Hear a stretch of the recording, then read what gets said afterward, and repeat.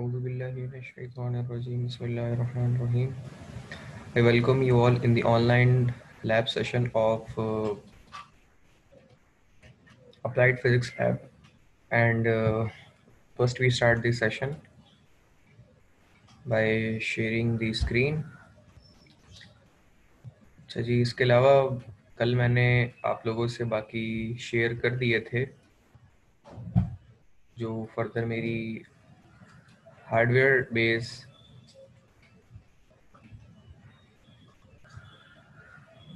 Performance of the lab थी, उसकी videos मैंने शेयर कर दी थी। और होपफुली वो आप लोगों ने देख ली होगी।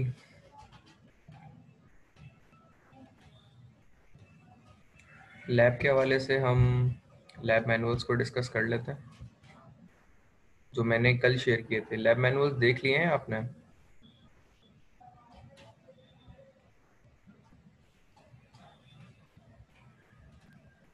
सर सारे नहीं देखे सारे क्या पूरी लैब थोड़ी शेयर करी है? सिर्फ़ छह तो पेज थे।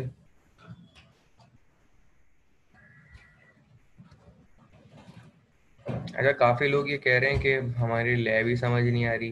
बाकी जो शेयर की है पढ़ने के लिए, भाई वो पढ़ के देख तो लें, समझ तो वो बाद में आएगी।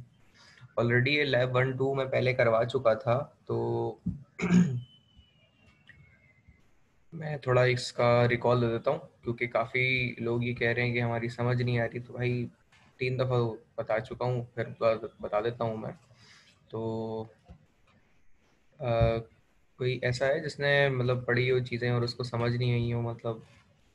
तो मैं रिकॉल कर दूँ उसके लिए। लैब वन और टू का जस्ट मैं आज रिकॉल दूँगा इस सेशन में। और इसके अलावा जो वीडियोस हैं परफॉर्मेंस की वो ऑलरेडी मैं शेयर कर चुका हूँ। ठीक है? कोई अभी तक सवाल किसी के जहन में है तो पूछ लीजिए मैं बता दूँगा वरना फिर आगे हम कंटिन्यू करते हैं अपने सेशन को। सर वो प्रैक्टिकल के हिसाब से आप सवाल किए हैं या मैनुअल के हिसाब से? मैं दोनों के हिसाब से पूछ रहा हूँ। कोई भी मेरी मेरे लैब के हवाले से सवाल हो जहन में आपके तो पूछ लीजिए। कोई डिफिकल्टी नहीं है तो मेरी स्क्रीन शेयर हो रही है और मेरी आवाज़ क्लियर आ रही है? यस सर स्क्रीन शेयर हो रही है। यस सर वो जो हम उसमें आपने जो वीडियो शेयर की पहली तो उसमें जो हम प्रैक्टिकल कर रहे थे तो उसमें ही थोड़ा सा इशू था कि जब वो कनेक्ट हुआ था दोनों दोनों जो राइट साइड में जो कनेक्टर लगा हुआ था, जब आप उसमें वो पिन लगा रहे थे फिर भी वही आ रहा था लेकिन जब आप वो निकाल के अलग अलग इंडिविजुअली लगा रहे थे फिर भी वही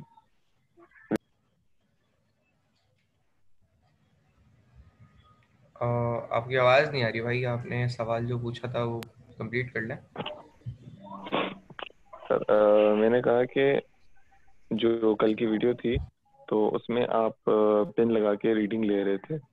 वो, तो उसमें जब जो एक कनेक्टर लगा हुआ था राइट साइड में तो जब आप कनेक्टर में पिन लगा रहे थे, तब भी वो सेम रीडिंग आ रही थी। जब आप निकाल के अलग अलग इंडिविजुअली पिन लगाए तब भी same reading I.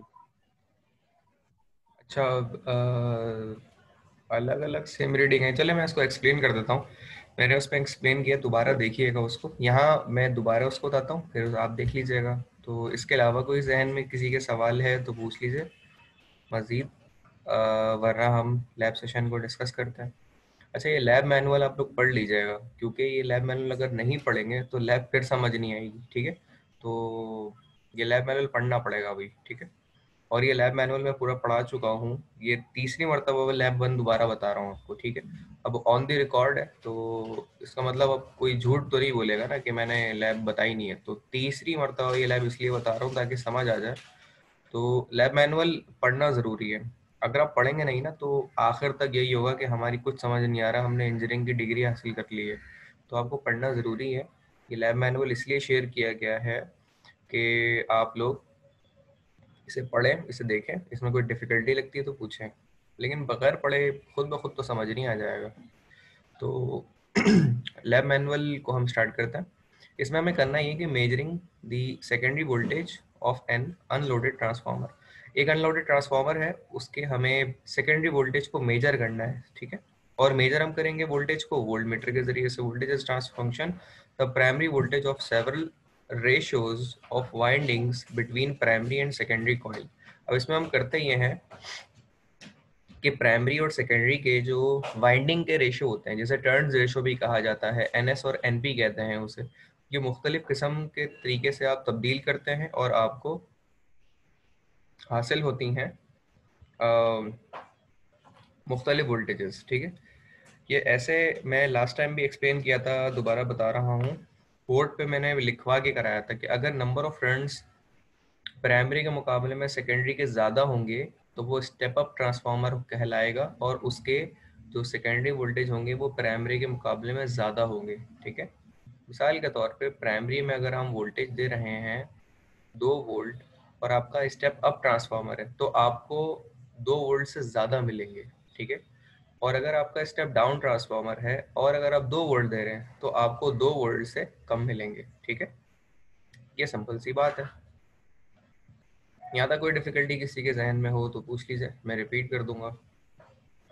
No no, sir equipment जो इसमें हम यूज़ करेंगे, वो एक एसी पावर सप्लाई यूज़ करेंगे। वो जो आपने वीडियो में देखी होगी, मैंने राइट साइड पे जो इक्विपमेंट लिया हुआ है, वो पावर सप्लाई कहलाती है। उसके बारे में मैंने बताया था, उसमें कांस्टेंट 12 वोल्ट आता है और ज़ीरो से लेके 20 वोल्ट एसी तक के वोल्टेज वेरी कर सकते हैं और ज़ीरो से लेके 20 डीसी वोल्टेज भी वेरी कर सकते हैं, ठीक है? तो वोल्टेज जो आ रहे होंगे ना, उसमें एक मीटर भी लिखा हुआ है, वहाँ से नज़र आ जाते हैं कितने वोल्ट आ रहे हैं, कितने वोल्ट नहीं आ रहे। तो वेरिक के ज़रिए से हमने एडजस्ट करते हुए ज़ीरो से बीस के दरमियान वोल्टेज लिए हैं दो वोल्ट एसी के, सही है? दो वोल्ट लिए दो वोल्ट दे रहे हैं हम एसी के। ट्रांसफार्मर एसी पे क्यों काम करता है डीसी पे काम क्यों नहीं करता, इसकी तफसील एंड डिटेल मैंने अभी पिछले जो यूनिवर्सिटी आप आए थे, दो हफ़्ते वो मैंने तफसील से बता दिया था mutual induction self induction Faraday's of electromagnetic induction ये मैंने सब डिटेल में बता दिया था। जो मैं फ़िलहाल दोबारा रिपीट नहीं करूँगा, क्योंकि वो मैं सब चीज़ें करा चुका हूँ, बस एक रिव्यूअर के तौर पे मैं इसे वाइंड अप करूँगा, क्योंकि बहुत मतलब मैंने बता दिया लेव वन टू तो इसको बस अब ख़त्म करने का टाइम हो गया, दोबारा रिपीट नहीं होगा ये। सेफ्टी प्रिकॉशन में क्या है कि जनाब आप वोल्टेज जो दे रहे हो, उसको प्रॉपर तरीके से दें कनेक्टिविटी सही तरीके से लें और उसके मुताबिक इसे डील करें। थियोरेटिकल बैकग्राउंड इसका यह है a transformer usually consist of two coils उसकी दो कॉयल्स कंसिस्ट करती हैं। ये लैब मैनुअल में ऑलरेडी व्हाट्सएप के ज़रिए आपसे शेयर कर चुका हूँ तो इसके ऊपर टाइम लगाइएगा और उसे पढ़िएगा अपने तौर पर जो मैं पढ़ा भी रहा हूँ। Consist of two coils which are inductively coupled with an iron core ठीक है? अच्छा ट्रांसफार्मर के बारे में अगर देखें, एक चीज़ ध्यान में रखें, ये सारी चीज़ें ना नई नहीं है भाई। आप ट्रांसफार्मर को मैट्रिक में भी पढ़ चुके हैं, आप ट्रांसफार्मर को इंटर में भी पढ़ चुके हैं और ट्रांसफार्मर अब दोबारा से इंजीनियरिंग में आपके पास तीसरी मरतबा आया है, ठीक है? तो इसका ये मतलब है कि ट्रांसफार्मर कोई पुराना नहीं है। अब इसकी बेसिक्स तो आपको मैट्रिक इंटर में पढ़ाई गई हैं। यहाँ जस्ट रिपीट हो रही हैं, ठीक है? और उसका डिटेल एक्सप्लेनेशन uh, भी मैंने uh, हमारी जो दो लैब्स यूनिवर्सिटी में हुई थी उसमें मैंने आपको बताया था उसके हवाले से। उसकी इम्प्लीमेंटेशन उसकी generation transmission distribution utilization side वो सारी चीज़ें मैंने बताई थी। यहाँ तक किसी के जहन में कोई सवाल है तो पूछ लीजिए। Transformer are use to change the voltage amount of alternating current transformer जो है वो voltage amount of alternating current को तब्दील करता है, ठीक है? जैसे मैंने बताया कि प्राइमरी से वोल्टेज आप देते हैं और सेकेंडरी में आपको इंड्यूस ईएमएफ मिलता है उसके नतीजे में, ठीक है? उसका सिंबल याद है? ट्रांसफार्मर का क्या होता है? एक कोर बनी होती है सेकेंडरी वाइंड होता है और प्राइमरी वाइंड होता है। प्राइमरी से सिग्नल आप देते हैं और सेकेंडरी में आपको सिग्नल मिलता है। ये ये याद है? आप सब लोगों को?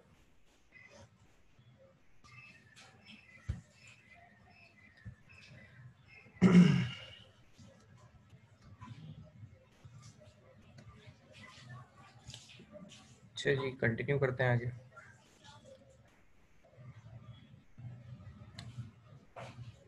तो ट्रांसफार्मर ऑल्टरनेटिंग करंट के वैल्यू को तब्दील करता है। The frequency of the voltage is not change लेकिन फ्रिक्वेंसी चेंज नहीं होती। बाय द कन्वेंशन कन्वेंशन के मुताबिक मतलब प्राइमरी से सेकेंडरी के अंदर जो आप सिग्नल देते हैं वोल्टेज देते हैं तो ट्रांसफार्मर फ्रिक्वेंसी को तब्दील नहीं करता। ट्रांसफार्मर पावर को तब्दील नहीं करता। वोल्टेज और करंट रेशियो को तब्दील कर देता है। मतलब ये है कि इनपुट वोल्टेज और आउटपुट वोल्टेज के दरमियान फ़र्क पैदा कर देगा। इनपुट वोल्टेज अगर कम होंगे तो उसे ज़्यादा कर देगा। ज़्यादा होंगे तो कम कर देगा। लेकिन इसके मुकाबले में वो करंट को कम ज़्यादा करता है। करंट को कम ज़्यादा कैसे करता है? क्योंकि जब वोल्टेज को कम करेगा तो करंट बढ़ जाएगा और करंट को कम करेगा तो वोल्टेज बढ़ जाएगा। इस लिहाज से ट्रांसफार्मर की जो आप देखें पावर होती है ना, वो रिमेन सेम रहती है। ट्रांसफार्मर की पावर तब्दील नहीं होती। ट्रांसफार्मर की पावर सेम रहती है। और उसकी फ्रिक्वेंसी भी तब्दील नहीं होती, वो सेम रहती है। यहाँ तक तो कोई सवाल किसी के जहन में? The frequency of the voltage is not change by convention input voltage is applied to primary coil while the output is measured across secondary coil the alternating current in the primary coil induce an alternating magnetic flux and magnetic flux that flows around the ferromagnetic core और ये जो alternative current है, वो आपके ferromagnetic core में गुजरता है। ये भी लास्ट टाइम मैंने बताया था कि जो कोर होता है, जिसमें आपकी प्राइमरी सेकेंडरी वाइंडिंग की जाती है, उसके अंदर जो है आपका फ्लक्स फ्लो करता है, ठीक है? The alternating flux in the core in turns in turn induces an alternating current in the the output voltage of transformer depends on the ratio of number of turns ठीक है? अच्छा ये जो U1 upon U2 है, ये आपके primary voltage और secondary voltage है। और N1 और N2 ये आपके प्राइमरी नंबर ऑफ़ टर्न्स जिसके ऊपर, जिसके ज़रिए से वाइंडिंग की जाती है आपकी प्राइमरी साइड पर ट्रांसफार्मर के कॉइल के कोर पे। और ये N2 secondary number of turns of coil हैं, जो कि secondary side of the core पे वाइंड किए जाते हैं, ठीक है? यहाँ तक कोई डिफिकल्टी है किसी के जहन में तो पूछ लें। मैं रिपीट कर दूँगा।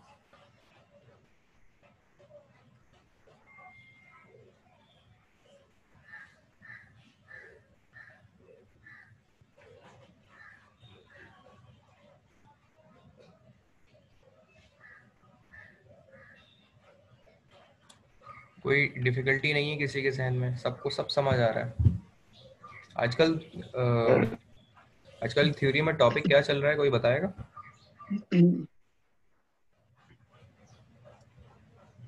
सर मेरा क्वेश्चन है सर। जी जी पूछें।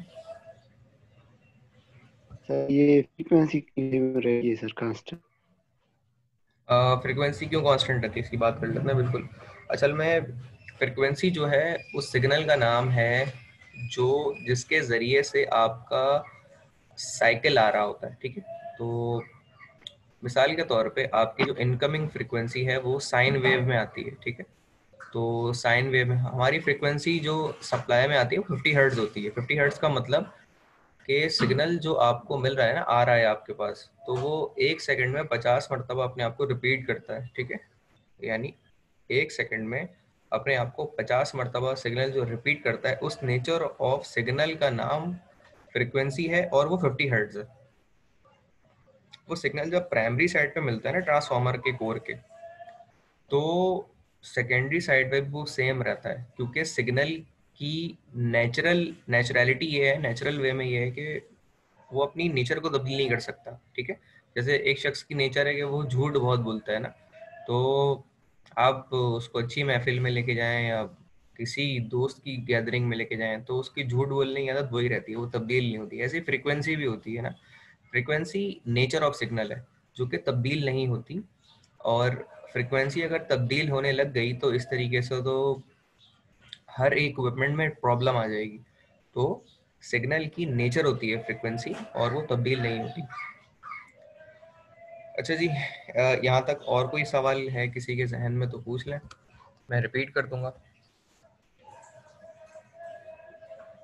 अच्छा आजकल ये थ्योरी में टॉपिक क्या चल रहा है? इसका कोई बताएगा?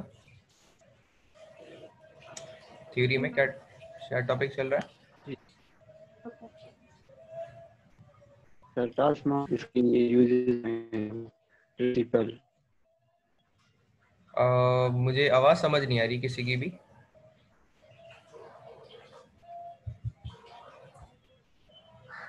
यहाँ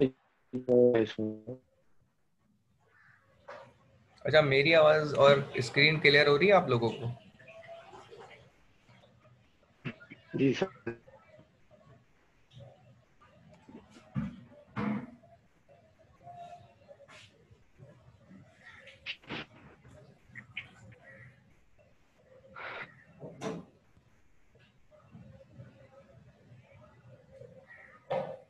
अच्छा काफ़ी लोग कह रहे हैं कि हमें आ,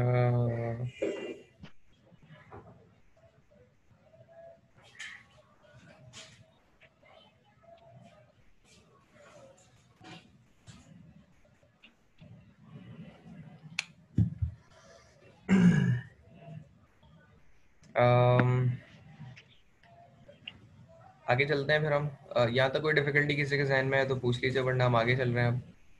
कोई डिफिकल्टी नहीं है। हा हा हा हाँ।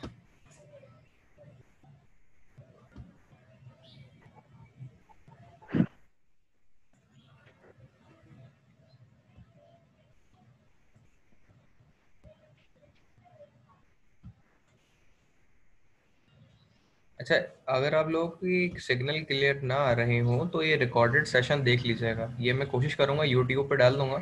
अब यूट्यूब के ऊपर आप देख सकते हैं, अपना डेटा का पैकेज करवा कर वहाँ से डायरेक्टली या फिर अगर मैं ड्राइव के ऊपर अपलोड करता हूँ तो वो लिंक शेयर कर दूँगा आपसे मैं।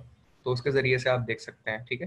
तो करंटली आपको कोई डिफ़िकल्टी किसी चीज़ में है तो मुझे भी बता दें कि यूट्यूब चलानी नहीं आती, या मतलब कोई और मसला है एक्सेस नहीं कर सकते कोई और मसला है तो मुझे बता दें मैं एक्सप्लेन कर दूँगा। क्लियर है? सब चीज़ें क्लियर है वो तो।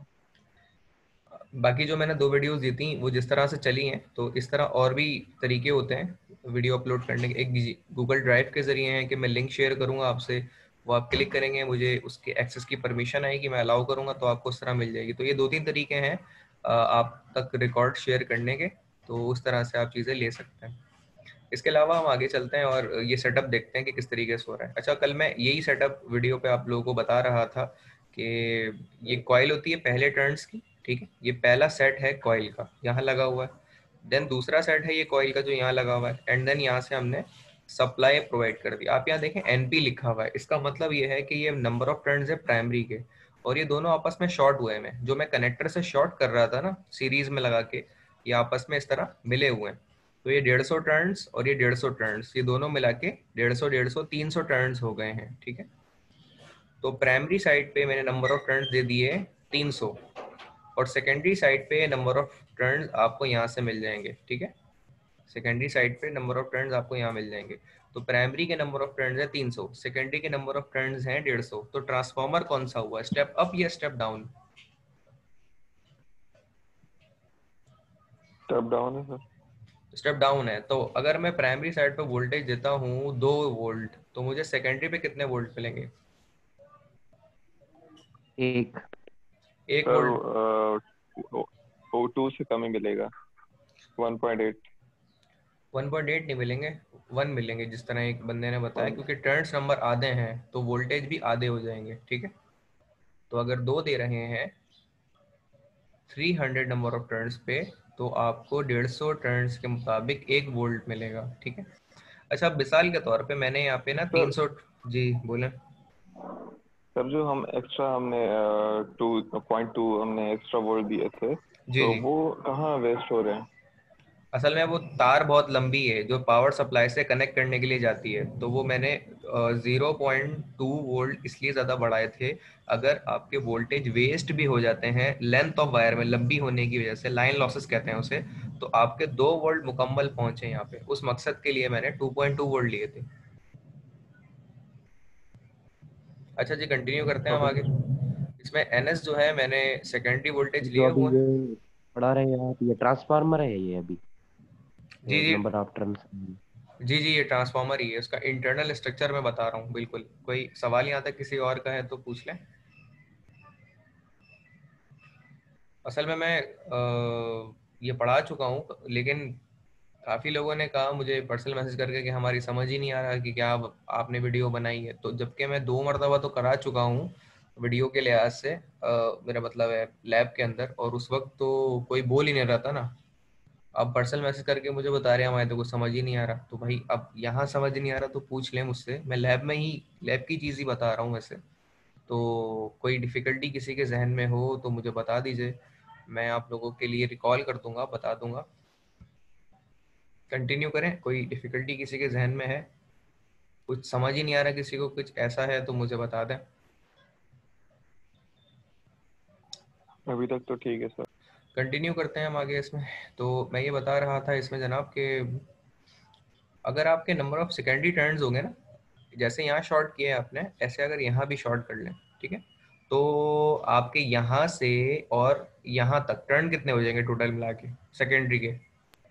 300 ये भी 300 हो जाएँगे। अगर मैं प्राइमरी पे 300 वोल्ट देता हूँ सॉरी प्राइमरी में मैं दो वोल्ट देता हूँ और 300 टर्न्स हैं और सेकेंडरी पे भी 300 टर्न्स हैं तो सेकेंडरी के वोल्टेज कितने होंगे? फोर वन फोर भी नहीं होंगे वन भी नहीं होंगे। रिपीट करें सर फिर से। अगर मैं प्राइमरी पे नंबर ऑफ़ टर्न्स 300 दे रहा हूँ और सेकेंडरी में नंबर ऑफ़ टर्न्स भी 300 हैं प्राइमरी पे अच्छा बहरहाल बाकी सब लोग भी तो सुन समझ लेना इसको। तो 300 टर्न्स के मुताबिक अगर प्राइमरी में मैं दो वोल्ट दे रहा हूँ और सेकेंडरी पे 300 टर्न्स के मुताबिक वोल्टेज कितने आएँगे? मैं ये बात बता रहा था, जिस तरह इन्होंने बताया कि वो दो वोल्ट ही मिलेंगे, क्योंकि प्राइमरी के नंबर ऑफ़ टर्न्स 300 हैं और सेकेंडरी के नंबर ऑफ़ टर्न्स भी 300 हैं और दो वोल्ट अगर आप यहाँ से दे रहे हैं तो दो वोल्ट ही आपको मिलेंगे, ठीक है? क्लियर है यहाँ तक बात ये? कोई सवाल तो नहीं है किसी के जहन में तो हम आगे चलते हैं।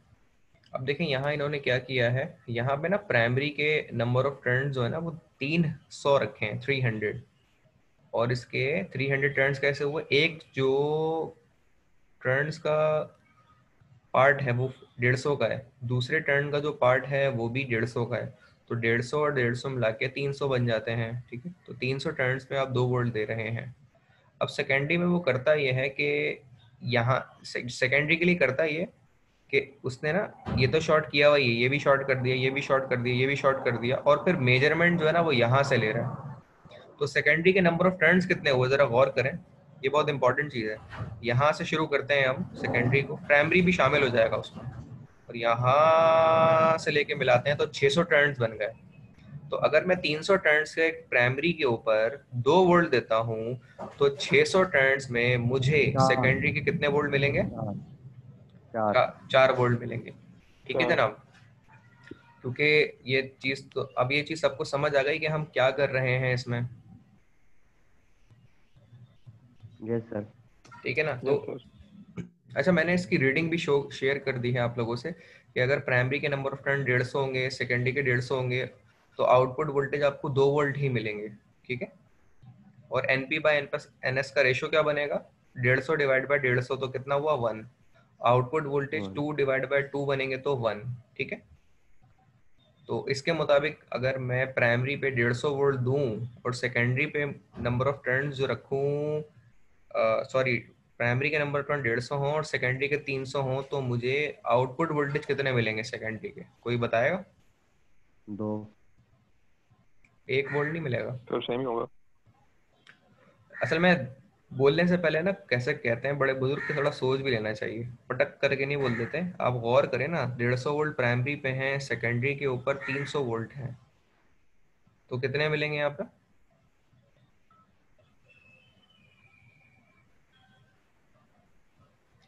Four fifty four fifty? नहीं मैं टर्न्स की बात नहीं कर रहा मैं वोल्टेज की बात कर रहा हूँ। जिसने शुरू में बताया था वो बिल्कुल सही बता रहा था। टू टू टू वोल्ट नहीं मिलेंगे मेरे दोस्त। गौर करें ना मैं डेढ़ सौ टर्न्स के ऊपर दो वोल्ट दे रहा हूँ। दो वोल्ट मेरे कांस्टेंट इनपुट के ना। टर्न डेढ़ सौ तो फोर मिलेंगे सर तो फोर मिलेंगे मेरे भाई फोर मिलेंगे ठीक है। अच्छा आप ये कर सकते हैं कि डेढ़ सौ डिवाइड बाई तीन सौ फिर उसका जो रेशियो आएगा उसको यहाँ लिख देंगे आप। और आउटपुट वोल्टेज आपके कितने हैं? फोर और डिवाइड बाय टू तो आउट कितनी वैल्यू आएगी इसकी?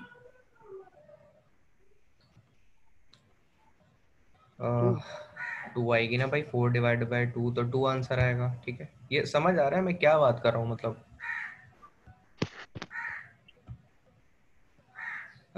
टू ठीक है जनाब। तो यहाँ तक कोई डिफिकल्टी किसी के जहन में है? कोई भी डिफिकल्टी किसी के जहन में? अगर हो तो मुझे बता दें।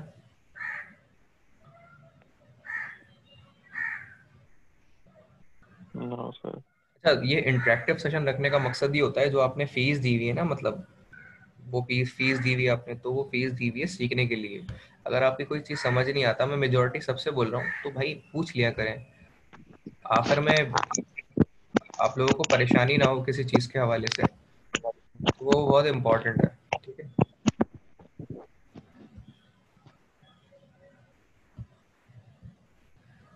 रिपीट कर दें। भाई, क्या रिपीट कर दें? तो ये तो बताएँ। किसी से आपने लिखा है रिपीट कर दें तो क्या?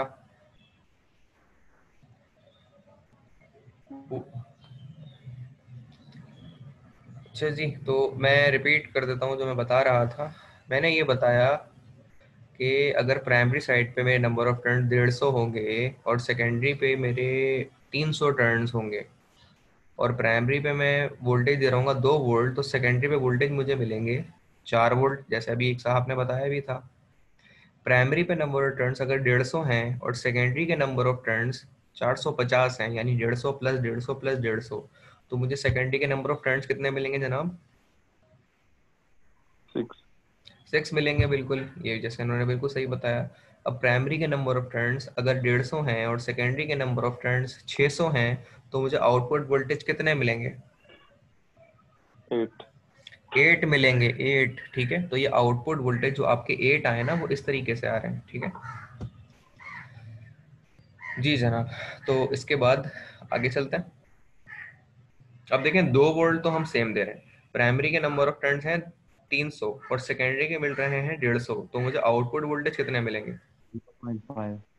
वन वन मिलेंगे आउटपुट वोल्टेज ठीक है जनाब, ये तो जिस जिस तरह ये बता रहे हैं, ये बिल्कुल ठीक बता रहे हैं। तो बाकी किसी की समझ में अगर नहीं आ रहा है तो काइंडली मुझसे पूछ लें कि ये कैसे बना, वो कैसे बना, ये कैसे आ रहा है, वो कैसे आ रहा है। ठीक है तो ये मुझसे पूछ लें। मैं सिर्फ़ इस कॉलम को नहीं बता रहा, मैं ये भी बता रहा हूँ और ये भी बता रहा हूँ। तो अगर आप गौर करें तो मैंने इसमें ये चीज़ आपको एक्सप्लेन करी है कि आउटपुट वोल्टेज जो आपके आ रहे होंगे ना, वो कैसे लिखे जाएँगे और जो नंबर ऑफ़ टर्न्स है, वो उसको आपस में डिवाइड करके यहाँ लिखेंगे। और ये जो तीसरा कॉलम है इसमें आउटपुट वोल्टेज जो भी आपके आठ आ रहे हैं छः आ रहे हैं चार आ रहे हैं दो आ रहे हैं उसको यहाँ डिवाइड करेंगे इनपुट वोल्टेज से और उसको यहाँ रिप्रेजेंट कर देंगे। क्लियर है यहाँ तक ये बात? कंटिन्यू करते हैं आगे। कोई और डिफिकल्टी किसी के जहन में हो? इन साहब के अलावा जो यसर यसर बोल रहे हैं इनके अलावा किसी को डिफिकल्टी हो तो काइंडली वो पूछ ले मैं रिपीट कर दूँगा भाई। आप यहाँ पे आए हैं तो सीखने के लिए आए हैं पैसे दिए हैं आप लोगों ने। तो आखिर में आके अगर आप ये सोचेंगे ना कि मतलब हम ऐसे ही निकाल लेंगे लैब तो ये मुश्किल होगा। कोई चीज़ समझ नहीं आ रही तो मुझसे पूछ ले मैं रिपीट कर दूँगा। अगर आप अपने तौर पे ही सोचते रहेंगे ना कि मैं नहीं पूछता तो फिर आप अपना नुकसान कर रहे हैं। बहरहाल पूछ लीजिएगा मैं रिपीट कर दूँगा। आगे कंटिन्यू करते हैं। अगर 300 वोल्ट मेरे प्राइमरी के नंबर ऑफ़ टर्न हैं और सेकेंडरी के नंबर ऑफ़ टर्न 300 है तो 300 300 के लिहाज से इनपुट वोल्टेज अगर दो दो मैं वोल्ट दे रहा हूँ तो आउटपुट वोल्टेज कितने मिलेंगे मुझे वो ये टू ही रहेंगे। टू ही रहेंगे। क्योंकि इनपुट के टर्न्स और आउटपुट के टर्न्स हमारे सेम है तो सेम की वजह से वोल्टेज भी सेम रहेंगे। अच्छा जी कंटिन्यू करते हैं यहाँ पे। तो अगर मैं यहाँ पे 300 वोल्ट 300 टर्न्स दे रहा हूँ और 450 टर्न्स मुझे सेकेंडरी पे हैं और दो वोल्ट में दे रहा हूँ तो फिर आउटपुट पे कितने वोल्ट मिलेंगे मुझे? थ्री तो मुझे थ्री वोल्ट मिलेंगे ठीक है? क्योंकि डेढ़ सौ का आधा होता है तीन सौ का आधा होता है, डेढ़ सौ। वो एडअप किया हुआ है इसमें तो तीन सौ के ऊपर अगर दो दिए तो उसका आधे का आधा शामिल हो जाएगा, यानी वो तीन बनता है, ठीक है? तो जिस तरह इन्होंने बताया, वो बिल्कुल ठीक बताया इन्होंने। यहाँ तक कोई डिफिकल्टी है तो पूछ लीजिए। हम इसे अगली लैब में कंटिन्यू मेरा मतलब है, अगले पेज पे कंटिन्यू करते हैं। अच्छा जी, अब ये वाला पार्ट है, अब इस पे आते हैं। सेकेंडरी प्राइमरी के नंबर ऑफ़ फ्रेंड्स हैं 300 सेकेंडरी के हैं 600 तो आउटपुट वोल्टेज कितने मिलेंगे भाई? फोर आउटपुट वोल्टेज फोर मिलेंगे मुझे, ठीक है? सबको समझ आ रहा है? अब इसके मुताबिक मेरे N P by N S को डिवाइड करेंगे और output voltage divide by input voltage करेंगे। तो ये मेरे वैल्यू इस तरह फिल हो जाएँगी। आगे कंटिन्यू करते हैं इस चीज़ को। अगर मेरे input primary volt number of turn जो है 450 हैं और सेकेंडरी 150 हैं तो मेरे आउटपुट वोल्टेज कितने आएँगे?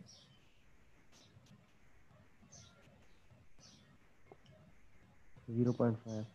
तकरीबन से नीचे आएँगे zero point eight approx zero point five आएँगे ये बिल्कुल सही बता रहे हैं। कंटिन्यू करते हैं आगे। अगर अब इसी अब इसी मुताबिक जो है ना मैं मल्टीपल वोल्टेज देखते जाऊँगा। अब जो निकलते जा रहे हैं हमारे अब जैसे लास्ट वाला आप देखें 600 नंबर ऑफ़ टर्न्स प्राइमरी के हैं और 600 नंबर ऑफ़ टर्न्स सेकेंडरी के भी हैं। तो मुझे वोल्टेज कितने मिलेंगे यहाँ पे? टू। टू। टू ही मिलेंगे ठीक है? और 600 और 300 के मुताबिक मुझे कितने मिलेंगे? वन। वन मिलेंगे। और 600 और 150 के मुताबिक मुझे कितने मिलेंगे? Zero point two five. Zero point two five ठीक है? तो मेरे हिसाब से वो पॉइंट फाइव मिलेंगे पॉइंट फाइव। क्योंकि 600 के 600 के 300 पे आधे होते हैं और 300 के और आधे होते हैं ठीक है? यानी वो पॉइंट फाइव बन जाएगा। Point five. तो इसके मुताबिक ये फिल करना। ये रीडिंग मैं ऑलरेडी आपसे शेयर कर चुका हूँ बस सिर्फ़ समझाना रह गया था जो कि मैं अभी आप लोगों को बता रहा था। ठीक है? यहाँ तक कोई डिफिकल्टी किसी के जहन में है तो मुझसे पूछ लीजिए मैं आप लोगों के लिए रिपीट कर दूँगा रिकॉल कर दूँगा। कोई डिफिकल्टी किसी को नहीं है।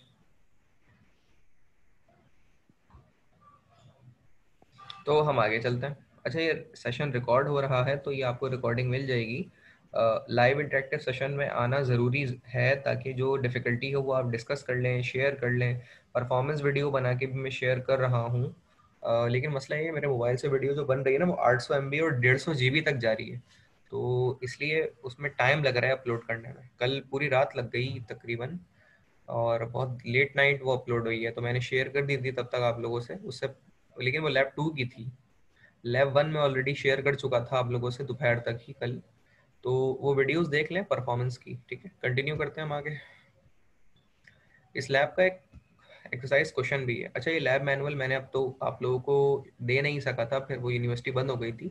लेकिन इंशाल्लाह जनवरी के एंड में या फरवरी के स्टार्ट में जैसे यूनिवर्सिटी खुलती है और आप लोग यूनिवर्सिटी आएँगे तो मैं आप लोगों को फ़ोटो स्टेट के लिए फ़ोटो स्टेट सेक्शन में ये मैनुअल रखवा दूँगा। वहाँ से कॉपी करके आप लोग ले लेंगे, ठीक है? और इस तरीके से इसको फिल कर लीजिएगा। और गाइडलाइन वगैरह वो सब मैं साथ साथ देता हुआ चल रहा हूँ। कि आप मैनुअल की चीज़ें देखते रहें और उसको यहाँ पे फिल कर लेंगे उसके मुताबिक, ठीक है?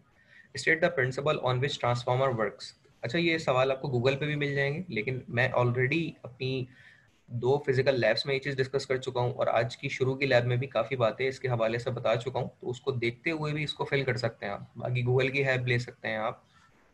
लेकिन मैं इनके जवाब नहीं बताऊँगा क्योंकि मैं ऑलरेडी एक्सप्लेन कर चुका हूँ इनके सवालों को। लेकिन इनमें कोई डिफिकल्टी समझने के लिहाज से है सवालों को तो वो पूछ लीजिएगा।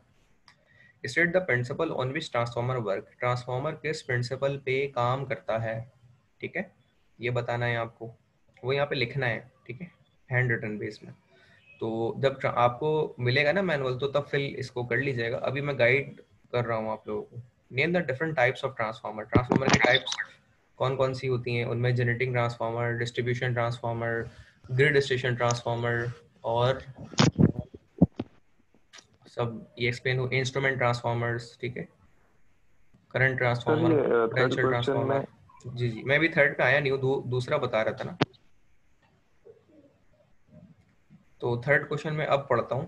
तो why we use the iron core of for transformer इसका जवाब भी मैंने दे दिया था। आयरन कोर हम ट्रांसफार्मर के इसलिए यूज़ करते हैं? ताकि उससे फ्लक्स जो ट्रांसफार्मर में लिंक हो रहा होता है वो लीक नहीं होता। उस मकसद के लिए हम आयरन कोर फेरेट कोर को इस्तेमाल करते हैं। क्लियर है यहाँ तक बात? सर ये पूछना था कि ओपन एयर में डिफरेंस आ जाता है अगर हम ओपन एयर में कुछ करते हैं तो क्या उसमें उससे फिर डिफरेंस आता है कोई? ओपन एयर क्वेश्चन में लिखा हुआ है। अभी मैं उस पर आ रहा हूँ मेरे भाई। मसला ये है आप जो है ना मुझसे थोड़ा सा आगे जा रहे हैं। आप अगर मैं जो भी डिस्कस कर रहा हूँ ना फ़िलहाल उस पर बात कर लें तो अच्छा है। इसके दो हिस्से हैं। मैं भी पहला हिस्सा बता रहा था दूसरा हिस्सा आप पूछ रहे हैं। तो पहला हिस्सा तो क्लियर हो जाए फिर दूसरे पे आएँगे ना। तो why we use iron core for transformer इसका जवाब मैंने आप लोगों को दे दिया है कि ट्रांसफॉर्मर का जो आयरन कोर है उसको इस्तेमाल करने की वजह यह है कि फ्लक्स उसमें लिंक होता है ठीक है? फ्लक्स उसमें लिंक होता है, इस वजह से ट्रांसफार्मर को के लिए हम आयरन कोर की नीड आयरन कोर की ज़रूरत को महसूस करते हैं। और उसके अंदर फेरेट कोर प्रॉपरली इस्तेमाल होता है। अगर फेरेट कोर को इस्तेमाल नहीं करेंगे तो उससे फ्लक्स लीक होगा उसका, ठीक है? तो वाई का जवाब मैंने यहाँ पे आप लोगों को दे दिया है। Can this step up and step down done in open air तो जिस तरह आपने भी पूछा था स्टेप अप या स्टेप डाउन ओपन एयर में हो सकता है या नहीं तो step up step down open air में आ, उसमें हो सकता है लेकिन आपको कोर इस्तेमाल करना पड़ेगा फेरेट कोर जिसे कहते हैं। आयरन कोर पे ये काम नहीं होगा। फेरेट कोर आपको अगर आप आयरन कोर में रख के ये काम करते हैं तो फ्लक्स आपका लीक होगा ठीक है? और ट्रांसफार्मर प्रॉपर तरीके से आउटपुट वोल्टेज नहीं दे पाएगा आपको, ठीक है? इस मकसद के लिए हम ओपन कोर में करेंगे तो उससे नुकसान होगा। कर तो सब कुछ सकते हैं, लेकिन आपको प्रॉपर तरीके से आउटपुट नहीं मिलेगा। इसलिए हम ट्रांसफार्मर की जो कोर इस्तेमाल करते हैं, वो फेरेट कोर होती है, वो आयरन कोर नहीं होती, ठीक है? यहाँ तो कोई डिफिकल्टी किसी के जहन में भाई तो पूछ लीजिए, मैं रिपीट कर दूँगा। सर ओपन एयर के अलावा कोई वे है?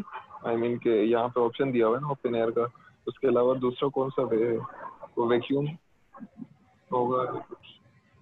वैक्यूम तो नहीं हो सकता, उसकी वजह ये है कि हम वैक्यूम क्रिएट नहीं कर सकते ना। जैसे इन ट्रांसफार्मर जितने भी रखे होते हैं, वो ओपन एयर पे रखे हुए होते हैं। और दूसरी बात यह है कि इस सवाल का मकसद ये बताने का कि हम फेरेट कोर में रखकर ओपन एयर में रख सकते हैं नहीं। तो फेरेट कोर में रखकर ओपन एयर में रखेंगे तो ट्रांसफार्मर सही तरह से काम नहीं करेगा। और अगर आप फेरेट कोर में रख के ट्रांसफार्मर को ओपन एयर में काम करेंगे तो वो सही तरह काम करेगा, ठीक है? ओपन एयर में रखने का वो मसला नहीं है। और ट्रांसफार्मर अगर पैक होता है तो वो भी ओपन एयर में ही होता है मतलब समथिंग अगर आप उसको केज से बाहर निकालें तो मकसद ये होता है ट्रांसफार्मर का कि उसमें फ्लक्स को लीक ना हो, ठीक है? और दूसरी बात ऐसा आपने बताई कि वो वैक्यूम में रखने का तो वैक्यूम में ट्रांसफार्मर को नहीं हम रख सकते। अब उसको इमेजिन करें ना, आपने ट्रांसफार्मर जहाँ भी देखा है, वो तो free space I mean open air में रखे होते हैं। तो उसका वो सेंस नहीं बन रहा हम उसे रखने का। तो इसमें मजीद ट्रांसफार्मर की डिज़ाइनिंग प्रॉपर्टीज़ होती हैं जो कि तब्दील हो जाती हैं। उनमें परमिटिविटी और फ्री स्पेस है परमिएबिलिटी है, इस तरह के बहुत सारे फैक्टर्स हैं। अगर आपको ये सब पता है तो फिर उसके मुताबिक आप वो बात समझ लेंगे। तो यहाँ ये ये रिपीट करें कि ये ओपन एयर में क्यों रखना ज़रूरी है फिर रिपीट करें। ओपन एयर में रखना इसलिए ज़रूरी है क्योंकि मेरे भाई हर जगह तो हवा मौजूद है ना। आप आपने ट्रांसफार्मर देखा है अपने इलाके का अपने गली मोहल्ले का? जी जी सर। तो वो कहाँ रखा हुआ है? वैक्यूम में रखा है एयर में रखा हुआ है? एयर में सर। एयर में रखा हुआ है ना? तो वो ये कह रहे हैं कि फेरेट कोर को रखकर आप ओपन में रख सकते हैं। आयरन कोर को रखकर क्यों नहीं रख सकते? क्योंकि आयरन कोर जो है वो कोर के लिए बेहतर नहीं है ठीक है? ये वजह है। फेरेट कोर बेहतर है ट्रांसफार्मर के लिए। फेरेट कोर आयरन कोर बेहतर नहीं है। क्योंकि ओपन एयर में रख के आयरन कोर के रखेंगे तो ट्रांसफार्मर का लॉस होगा उसमें। अच्छा ये सेशन एंड होने वाला है लैब वन का तो हम यहाँ पे इस सेशन को एंड करेंगे। दो सवाल मजीद डिस्कस कर लेते हैं। Name the power losses transformer and the main reason why which they occur तो heat losses eddy current losses power losses conductor losses ये सारे लॉसेस होते हैं ट्रांसफार्मर में, ये आपको इंटरनेट पे भी मिल जाएँगे। वो यहाँ पे मेंशन करने हैं आपने। गर्म होता है तो उससे लॉस होता है, वो ठंडा देर से होता है तो उसका लॉस होता है। पांचवा सवाल है जी attach the screenshot of any two result generated during class जैसे मैं जो आपको करा रहा था ना, उसको रोक कर उसकी आप स्नैप ले लीजिएगा तो ये रिज़ल्ट आपका फुलफिल हो जाएगा और आपको अपने रिज़ल्ट के साथ इसकी एक प्रिंट आउट स्क्रीन लेके लगानी होगी। ये भी इसके रिजल्ट्स में शामिल होगा। यहाँ तक हमारा सेशन लैब वन का एंड हो जाता है। लैब टू का एंड सेशन जो है वो इनशाला मैं कल शेयर करूँगा। कल हमारी एक एक्स्ट्रा लैब में लूँगा कल की टाइमिंग पे। तो आप सब लोग अवेलेबल रहिएगा। सर कल तो आ, उसकी भी है ना सर कल, की। कल हफ़्ता है। और ये क्वेश्चन नंबर फाइव मुझे समझ में नहीं सॉरी मैं ये